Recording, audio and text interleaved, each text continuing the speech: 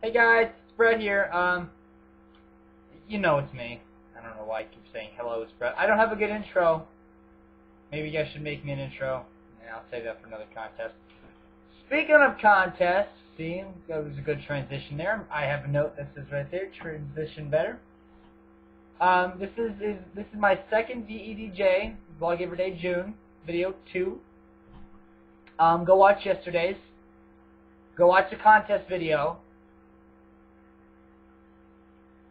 You can win $25. I just bought the gift card yesterday. I don't know where I put the gift card. It's somewhere in this jumbo mess of mine here. I got 50 types of glasses here. I got my new, not new, I guess I got new 3D glasses with the lens still in them.